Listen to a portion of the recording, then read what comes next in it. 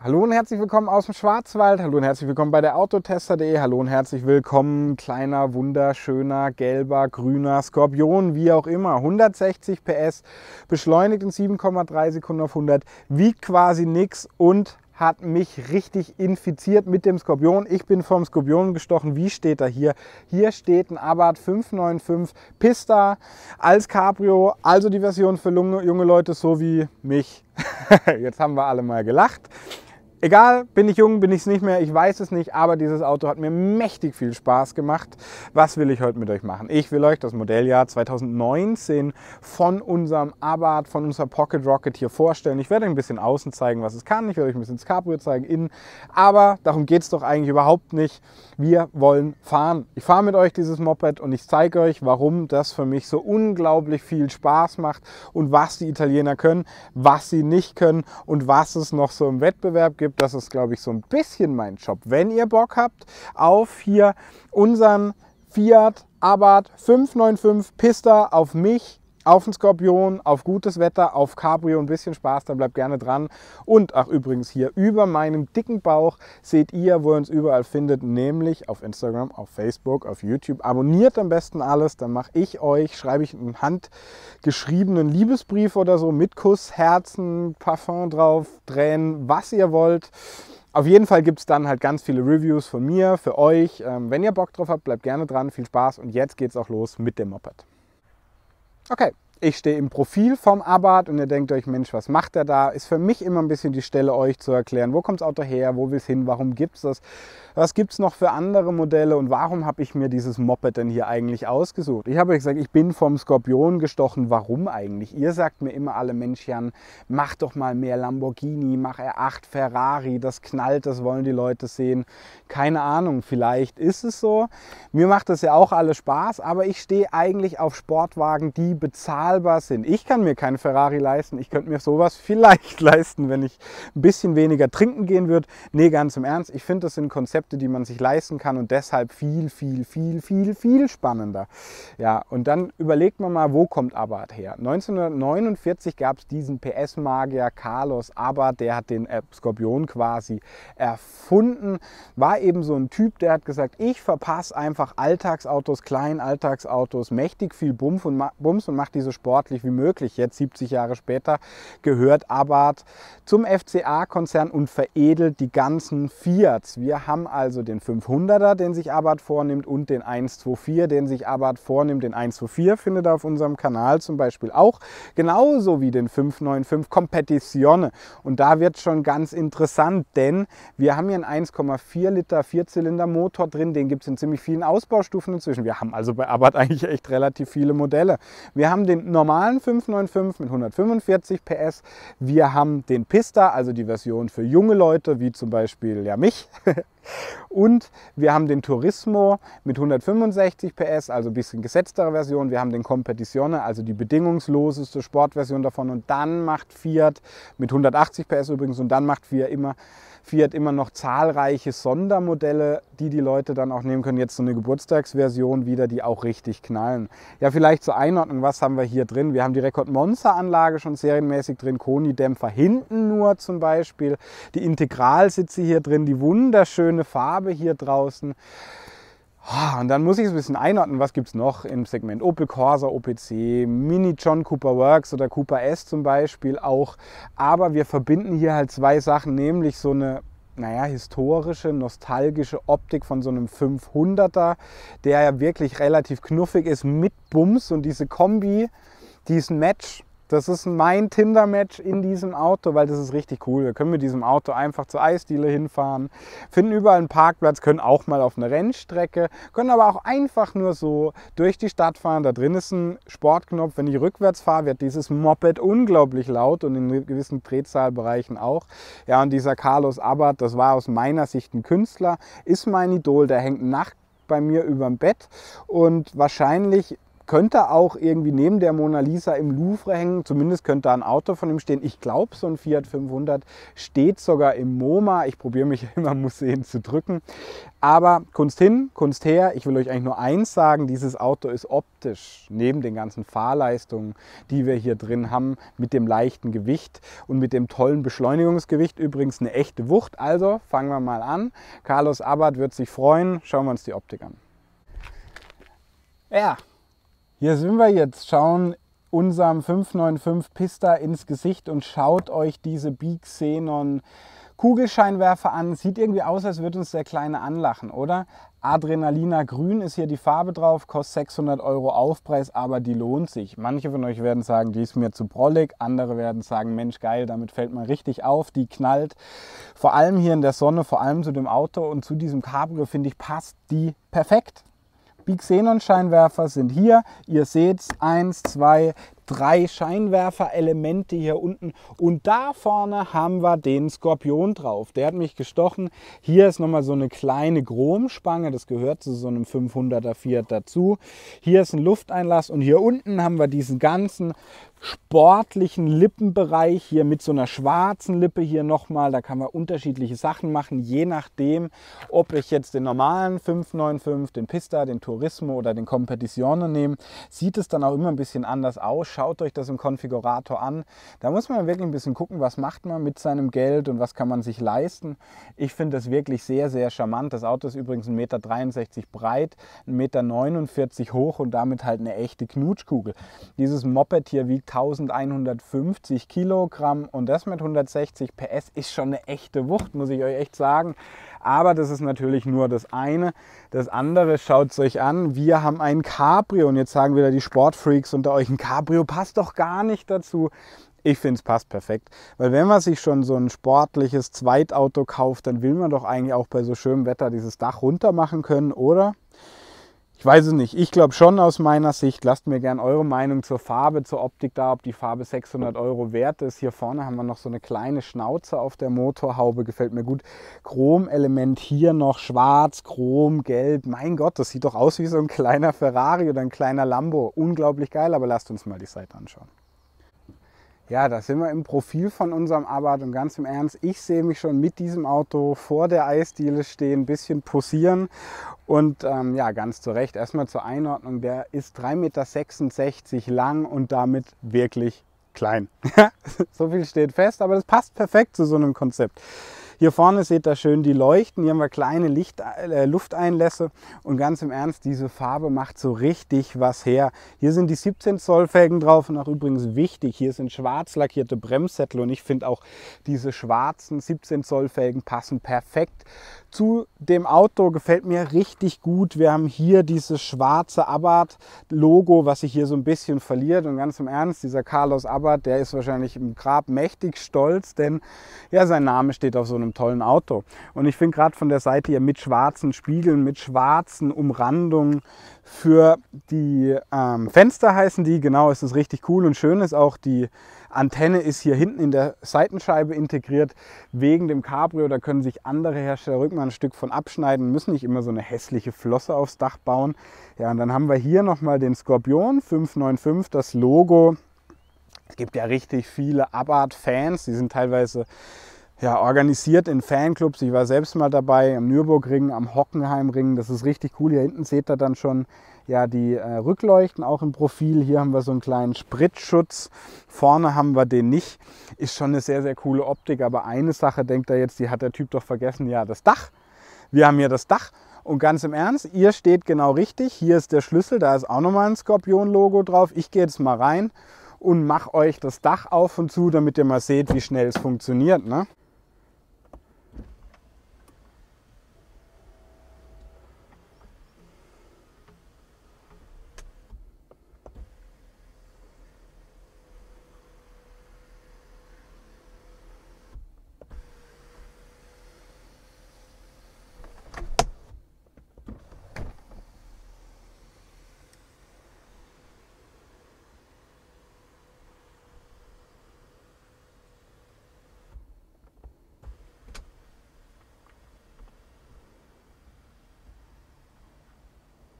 Ach ja, und übrigens ganz spannend, wenn ihr schon da steht, Hinten sind die Koni-Dämpfer drin beim Pista. Vorne haben sie drauf verzichtet. Es geht ein bisschen halt darum, ein bisschen Geld zu sparen und dass man die Option hat. Ich habe es kaum gemerkt beim Fahren, will aber jetzt gar nicht zu viel vorwegnehmen. Schauen wir uns mal den Hintern an. Ja, und da sind wir schon. Und schaut es euch mal an, das ist nicht eine knackige Optik von hinten. Wir können das Cabrio-Dach übrigens so weit runterfahren, steht nicht hier wie bei meinem alten Smart Roadster und gibt damit ein richtiges Cabrio-Gefühl. Einziger Nachteil, die Holme, die kriegen wir natürlich nicht weg, aber dafür haben wir halt dann auch geschlossen, relativ ruhiges Konzept so beim Kleinwagen. Schönes, hier ist nochmal der Skorpion als Riesenlogo wird jetzt ein bisschen verdeckt vom Dach. 595 Pista steht hier drauf, eigentlich ein ganz fancy Logo, aber jetzt schaut euch mal hier unten an, die Rekord Monster Auspuffanlage doppelflutig hier auf beiden Seiten und hier unten nochmal so ein riesen Diffusor. Das sieht von hinten unten aus schon wie so ein Lambo, wie ein Ferrari. Das ist schon irgendwie krass. Aber dann haben wir hier natürlich wieder sehr dezente Rückleuchten mit hier so einem Element in Wagenfarbe drin. Der ist übrigens auch neu. Ne? Ist ganz schön. Das schwarze Dach mit der Bremsleuchte hier oben ist cool. Und früher war es, meine kleine Schwester hat einen Fiat 500 immer so, wenn ich mich richtig erinnere. Wenn man jetzt nämlich ähm, den Kofferraum aufmachen wollt, dann muss man sich immer reinsetzen, das Dach hoch machen, aber da hat sich Fiat natürlich was überlegt. Ich drücke einfach drauf, habe einen Schlüssel in der Hose, das Dach fährt ein Stück nach oben in so eine Anfangsposition und dann können wir natürlich den Kofferraum aufmachen, wo jetzt peinlicherweise meine Sporttasche drin liegt und haben ein Kofferraumvolumen von 185 bis 550 Liter, wenn wir die Rückbank umklappen, schon relativ praktisch. Ich mache es jetzt noch mal zu, weil um den Kofferraum geht es ja wahrscheinlich echt nur am Rande. Schaut es euch an, die Öffnung ist relativ klein. Mit dem Bierkasten muss man ein bisschen jonglieren. Keine Ahnung, ob der rausgeht. Auch das, die Ladekante steht hier ein bisschen drauf. Kofferraumkonzept ist nicht ideal, aber ich habe euch ja was zu der Rekord Monster Auspuffanlage gesagt. Und wenn ihr schon mal so gut da steht, dann muss ich euch die natürlich auch zeigen. Da drin gibt es einen Sportknopf. Ich werde das Auto erst anmachen ohne, dann mit und dann werde ich ein Stück rückwärts fahren, denn das ist ganz spannend. Dieses Auto ist für mich das Auto, das rückwärts am lautesten fährt auf dem Markt. Hört es euch einfach an.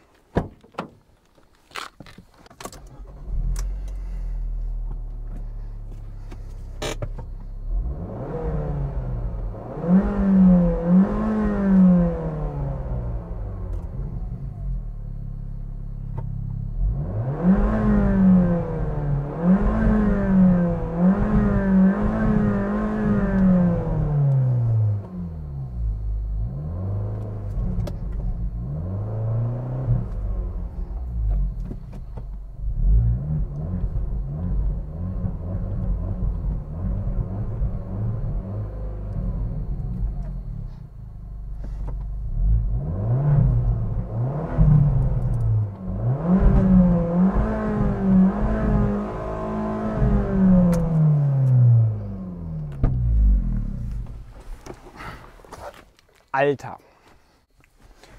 Ja, ich bin im Innenraum und es ist für mich jetzt die Gelegenheit, euch mal so ein bisschen zu erklären, wie ist es hier eigentlich. Erstmal haben wir hier die integralen Sportsitze für 1200 Euro. Ich habe schon die Schalensitze gefahren in dem Competizione, könnt ihr euch anschauen, das Video übrigens. Und ähm, die hier taugen mir irgendwie besser. Ich mochte diese Sportsitze wahnsinnig, also die Schalensitze von Schabelt für die Rennstrecke perfekt, aber das ist halt hier ein Auto, was auch im Alltag funktionieren muss. Und schaut es euch an, ich sitze bequem, habe auch noch genug Seiten halt das ist einfach cool. Dann haben wir hier das Lenkrad. Das Lenkrad hat so eine 12 Uhr Markierung, kommt aus dem Rallye-Sport, so dass man immer weiß, wo es gerade ist. Hat hier auch schön Chrom. Wir haben hier ein paar Knöpfe für die Klima. Hier ist das Uconnect Live HD System. Habe ich euch im anderen Video schon erklärt. Funktioniert richtig gut. Ich habe hier unten USB-Stecker, zeige ich euch jetzt nicht. Hier unten macht man USB rein, Handy dran und hat hier dann mit Apple CarPlay und Android Auto die Nutzeroberfläche von seinem Handy drauf. Cool.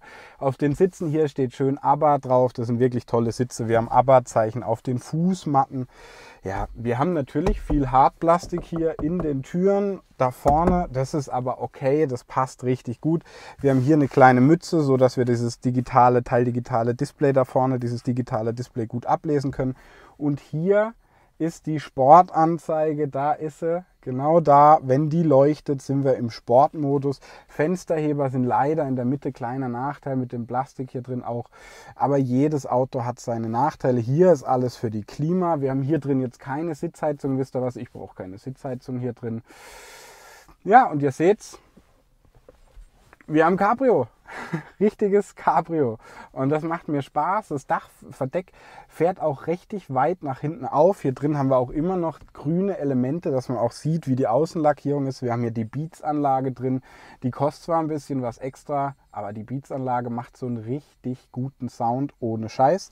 Hier seht ihr die 5-Gang-Handschaltung, leider nur 5 Gänge, hm, aber da man dieses Auto ja sowieso in viel zu hohen Drehzahlbereichen die ganze Zeit bewegt, ist es eigentlich auch nicht so schlimm. Wir können noch andersfarbige Anschnallgurte haben, was eigentlich auch ganz cool ist. Ansonsten ist es hier drin schon sehr clean durchdesignt. Hier haben wir das Fiat 500 Zeichen, seht ihr dann im Schnittbild.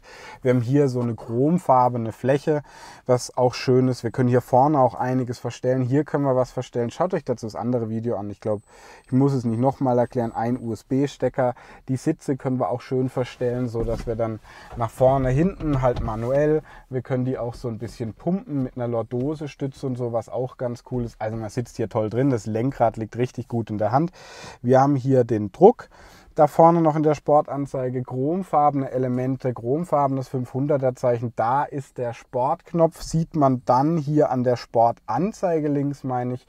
Ja, und das ist schon ganz cool. Und ich habe mir jetzt überlegt, was mache ich denn, wenn ich mit euch fahre? Sage ich euch, wie das Auto sich geschlossen anhört und offen? Nö. Das Cabrio-Wetter, wir fahren heute einfach Cabrio. Dafür hat man ja ein Cabrio, oder? Ähm, ich hoffe, ihr versteht mich dann trotzdem gut, aber wisst ihr was, ist mir eigentlich auch egal, weil wir hören den Sound gut. Hier ist übrigens der Schlüssel, da ist auch nochmal ein schöner Skorpion drauf. Wir haben da unten auch die Skorpione auf der Edelstahlpedalerie, gefällt mir auch richtig gut. Ehrlicherweise, die Abarth-Leute wissen schon, was sie machen. Was ich machen soll, denn ich weiß manchmal auch, was ich mache und warum ich es mache, ist mich anschnallen. dann das wird jetzt bei unserer kleinen Probefahrt dann auch wichtig. So, aber bevor ich losfahre, mache ich jetzt mal eins. Ich zeige euch den Sound im Stand. Leerlauf ist drin.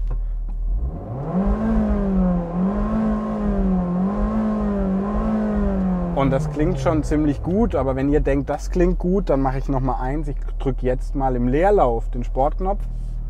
Man hört schon, es probbelt mehr. Die Rekord Monster Auspuffanlage arbeitet da hinten mit der aktiven Klappensteuerung. Jetzt hört mal hin.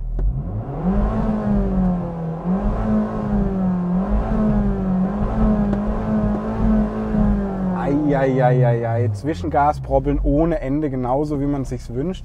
Und ich mache jetzt mal kurz den Rückwärtsgang rein.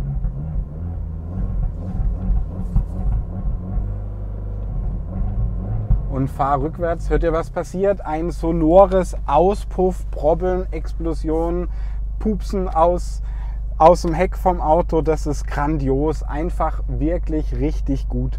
Ich hoffe, ich habe euch zum Innenraum nicht zu wenig erklärt. Wir haben hier natürlich Radio, schöner Sound, Medien können wir verbinden, Navi, das Uconnect-System eben dann mit Apps kann man das bespielen, zum Beispiel auch die Audioeinstellung ändern, Einstellung und nochmal eine Audioeinstellung, eine eigene. Schön ist auch, macht man das Auto an, fährt da so ein kleiner Abarth rein aus so einer Garage. Das machen die Italiener halt gut. Die können nicht nur Optik außen, sondern halt auch innen, auch wenn man sich vielleicht über qualitative Dinge im Innenraum auch mal streiten kann. Hier vorne haben wir jetzt einen schönen G-Kraftmesser drin. Können wir dann auch ähm, schön verstellen. Hier vorne dann haben wir dann seitlich auch noch, ähm, hier ist es äh, die Möglichkeit, dass wir uns den Trip anzeigen lassen, Trip A, Trip B, die Reifendruckkontrolle oder ein G-Kraftmesser, was halt ziemlich cool passt zu diesem Auto. Ja, aber ich kann euch viel erzählen. Was wir jetzt machen, ist uns einfach mal anschauen, wie sich dieses Auto in der Theorie bewegt. Ja, aber Optik hin, Innenraum, Kofferraum, wie schnell verschließt Stack, geile Farbe her, was auch immer. Bei diesem Auto geht es eigentlich einzig und allein ums Fahren und das ist hier ein Genuss. Wir haben die Pista-Version. Im Vergleich zur Competizione-Version hat die kein Sperrdifferential vorne. Auto ist ja vorne angetrieben, hat aber hinten die Koni-Dämpfer mit FSD-Technologie, also Frequency Selected Damping. Die Dämpfung kann sich anpassen. Vorne hat sie dann nur äh, ähm, die Competizione-Version, aber ich muss euch eins sagen, ich habe so richtig gar nicht gemerkt. Und diese Version hier hat nur 160 PS, während die Competizione-Version 180 hat. Der hier beschleunigt.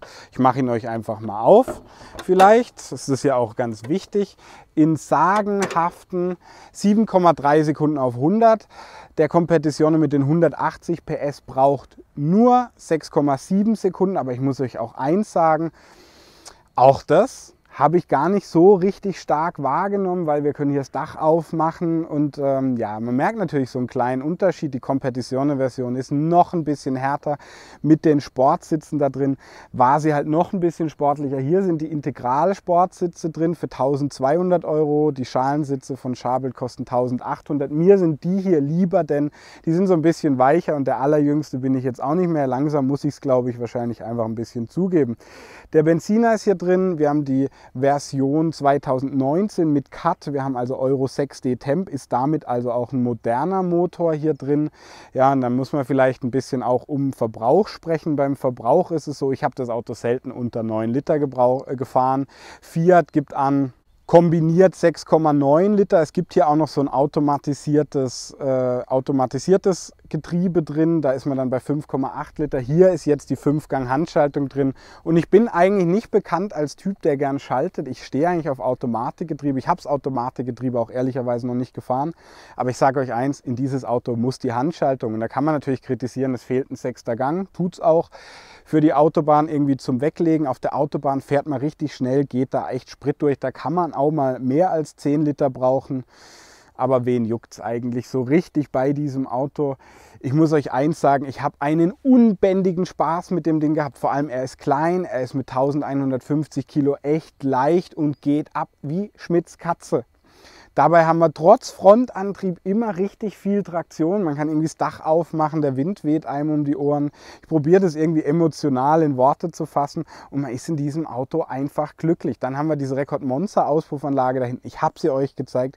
Die macht einen Sound. Wir haben einen Sportknopf da drin, dann wird die Lenkung direkter, die Gasannahme noch mal ein bisschen direkter und der Sound wird brutal. Ab so 3000 Umdrehungen denkt man da drin, man sitzt wirklich in einem Ferrari, so fühlt sich an. Wir haben eine sehr direkte Lenkung. Wir haben haben vorne und hinten natürlich auch richtig gute Bremsen, braucht man bei diesem Auto, auch wenn es nicht schwer ist. Ähm, die Schaltung ist knackig, findet die Gänge gut. Klar, okay, der sechste Gang fehlt. Wir haben dann eine harte Dämpfung da drin, wenn wir auf Sport schalten. Und wenn man sagt, so hey, heute ist einfach nicht so mein Tag, ich will heute nicht rasen, dann schaltet man nicht auf Sport da drin, dann cruist man gemütlich, das Auto ist ein bisschen leiser, hat ein Cabrio-Feeling da drin. Aber wenn man sagt, man will irgendwie auch mal auf die Rennstrecke, dann kann kann man es da richtig knallen lassen, wenn man fahren kann. Und wenn man sagt, ich will mal vor der meiner Eisdiele einfach mal meinem italienischen Freund zeigen, wie laut mein schweinegeiler Skorpion ist, dann fährt man am besten rückwärts, denn rückwärts ist es das lauteste Auto auf dem Markt. Ich verspreche es euch. Oder fährt im Leerlauf ein bisschen. Beim Anlassen macht er einen richtig tollen Sound. Also das gibt richtig viel Spaß. Und übrigens, das Auto ist nicht nur was für die Stadt, um mal an der Ampel den ein oder anderen Porsche zu versägen, sondern auch auf der Landstraße kann man richtig Spaß haben und jetzt wird es überraschend.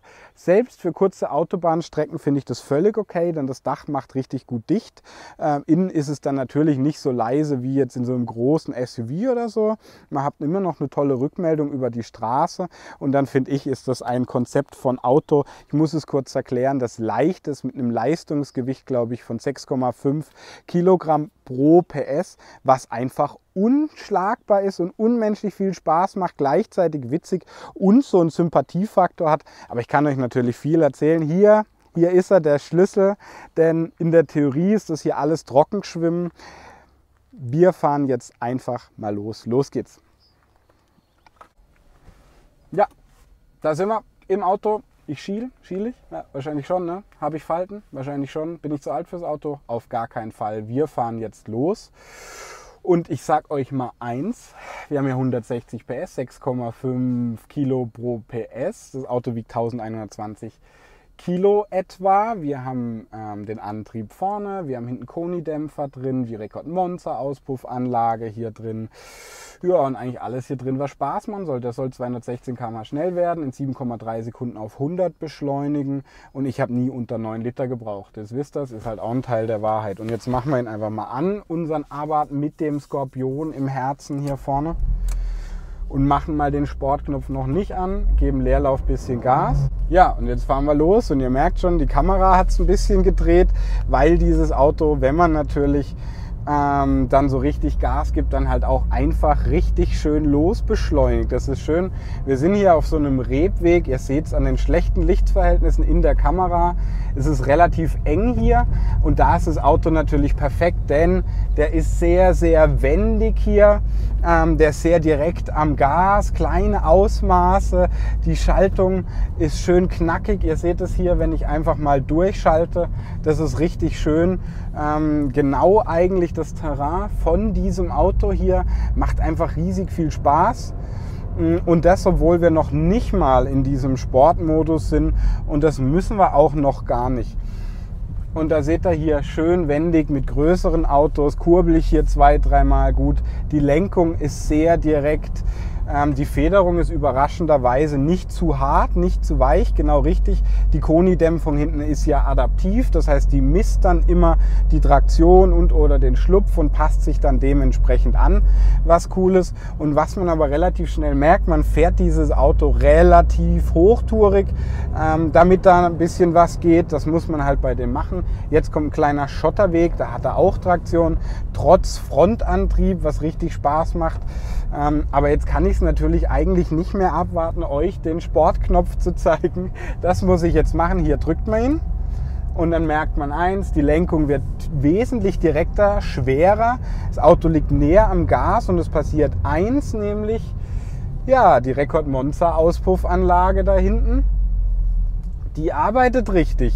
Es wird also lauter. Und ihr hört schon, was ich meine. Kleines Zwischengasprobbeln. Wir haben ein schönes Cabrio, sitzen trotzdem einigermaßen windgeschützt, was cool ist. Ja, und dann macht dieses Auto einfach eine Menge, wirklich eine echte Menge Spaß hier. Denn wir können hier die Feldwege entlang jagen, als gäbe es keinen Morgen. Ähm, der Beschleunigungswert von 7,3 ist auch echt gut. Ihr fragt euch, dann brauche ich den Competizione, weil er halt die 180 PS hat. Ja, klar, das macht schon ein bisschen was aus. Vor allem macht natürlich halt das Sperrdifferential an der Vorderachse was bei der Traktion im Grenzbereich aus. Aber ob man dann wirklich in diesen Bereich kommt beim Fahren und wie viele das machen, wo man ähm, die Sperredifferential in der Achse merkt. Das weiß ich nicht. Dass uns vorne dann noch der Koni-Dämpfer fehlt hier bei dem Pista, weiß ich auch nicht. Ich würde sagen, das ist für mich so der perfekte Kompromiss. Und ihr seht schon, bisschen schwerere Lenkung und man fühlt sich hier direkt wie in einem richtigen Sportwagen. Das macht schon richtig viel Laune. Dann hat man hier die Anzeige mit dem G-Kraftmesser schön im Blick was wirklich ein Genuss ist und hat halt immer die Untermalung von der Auspuffanlage. Ich muss mal die Reben verlassen, damit die Leute mich nicht lynchen wollen, wenn ich hier zu viel Gas gebe. Ja, und jetzt sind wir auf einer richtigen Straße, ihr hört's.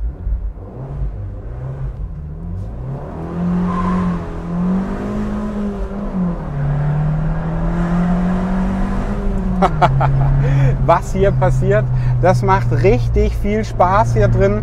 Man muss echt auch ständig schauen, dass man nicht geblitzt wird. Hört euch den Ton an vom Auto. Grandios und man erwischt, erwischt sich ständig, dass man halt dann doch wieder in den zweiten Gang schaltet, was ja eigentlich völlig unangebracht ist und manchmal auch ein bisschen frech wirkt.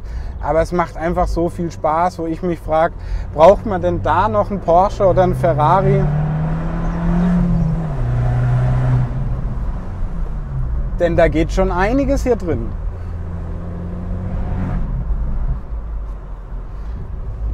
Gute Schaltung, gute Lenkung, direkt am Gas. Ich weiß gar nicht, was ich euch mehr dazu beschreiben soll.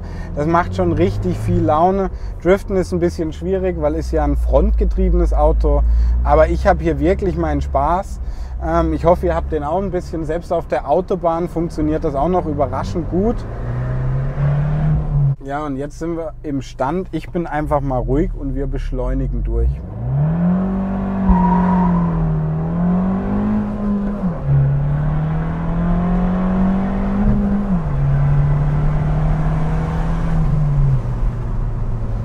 Ja, und so schnell ist man dann auf 100 hier drin.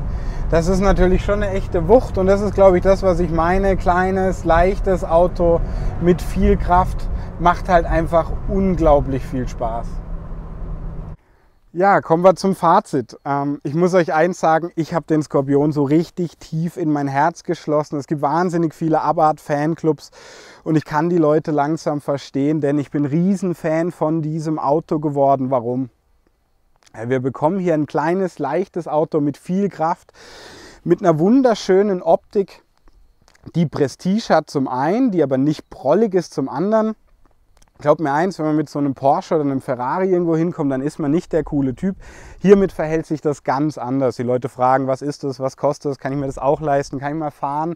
Man ist da irgendwie ja, man ist irgendwie der coole Typ mit so einem Auto und das feiere ich. Und zum anderen haben wir dann ein Konzept an Auto, was mir richtig Spaß macht. Du kannst damit zur Eisdiele fahren, kannst damit auf die Landstraße durch die Stadt, man kann auch mal auf die Autobahn, man kann zur Not sogar mal auf die Rennstrecke.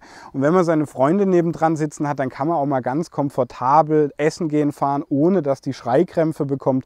Wie gesagt, ich bin ein Riesenfan. Der Motor hat jetzt Euro 6D Temp und Leistungsgewicht von 6,5 Kilo pro PS, was wirklich ja, was wirklich Schönes. Dieses Ding zieht einfach nach vorne, klingt geil, macht mir richtig viel Spaß und dabei haben wir auch ein sehr modernes Auto mit viel Technik. Wir haben innen mit diesem Uconnect HD-System und mit Apple CarPlay Android Auto einfach ein modernes Auto, was cool ist. Wir haben Sportknopf drin, die Rekord Monza Anlage. Ja, diesen Genuss, das höre ich lieber als jedes Rammstein-Konzert sowieso. Ich muss euch echt sagen, dieses Auto flasht mich, hat mich umgehauen. Aber dann ist es mein Job, auch kritische Dinge zu äußern. Okay, es ist natürlich kein GT, es ist eher ein Zweitwagen. Wir haben nicht viel Platz da drin, aber wisst ihr was? Scheiß der Hund drauf. Weil das will der gar nicht sein, das kann er nicht leisten, aber er kann eins leisten, nämlich ein echter Sportwagen zu bezahlbarem Preis sein. Und wäre ich nochmal 18, Gott wäre ich das nochmal gern, würde ich mir dieses Moped kaufen und wenn ich meine Oma dafür ausrauben würde. So was sage ich euch. Und selbst jetzt in der Stadt würde ich in Hamburg, Berlin, München leben, dann wäre das das Auto meiner Wahl. Ist doch logisch, ich finde überall einen Parkplatz, oder? Ja, und dann denkt man so, ja, der redet so von billig und preiswert und so, ist aber eigentlich nicht so. Das Auto beginnt hier als Coupé der Pista bei 22.490 Euro. Ich habe euch die Competizione-Version mit 180 PS vorgestellt und im Sperrdifferential und allerhand Extras noch oben drauf. Die ist 4.000 Euro teurer. Das Cabrio hier kostet 25.090 Euro. Die Competizione-Version davon ist wieder 4.000 Euro teurer. Der Pista ist ein bisschen überhalb vom 595, ein bisschen unterhalb vom Turismo angesiedelt und klar unterhalb vom Competizione gewonnen und ich muss euch sagen, als junger Mensch ist das eigentlich das Auto meiner Wahl, weil ich finde, das ist der beste Kompromiss aus Preis und Leistung in seinem Segment. Kann aber auch jeder für sich selbst entscheiden. Würde mich auch freuen, wenn ihr mir eure Meinung zum Auto da lasst, wie ihr ihn konfigurieren würdet. Wenn ihr Fragen habt, probiere ich alles in meiner Macht Stehende zu, zu beantworten. Er wird jetzt dann nachher gleich abgeholt und ich muss euch eins sagen, scheiße, ich ziehe meinen Hut vorm Auto, ähm, aber ich gebe den so ungern her, das könnt ihr euch gar nicht vorstellen, ist auch nicht gelogen, sondern einfach ehrlich. Da ist der Schlüssel und wisst ihr was? Den schmeiße ich jetzt einfach weg, weil ich bin nämlich traurig. Ja, ich hoffe, ich habe euch ein bisschen umfangreich informiert über das Auto hier. Über meinem dicken Bauch seht ihr, wo ihr uns überall findet, nämlich auf Instagram, auf Facebook, auf YouTube habt ihr uns gefunden. Abonniert am besten alles, dann schenke ich euch, sobald ich es mir leisten kann, jedem so ein Auto versprochen oder mache euch eine Skorpion-Tätowierung selbst. Da freut ihr euch sicher, ne? Ne, Quatsch, würde mich freuen. Ich hoffe, es war informativ und dann sehen wir uns bald. Bis bald, Freunde. Danke fürs Zuhören.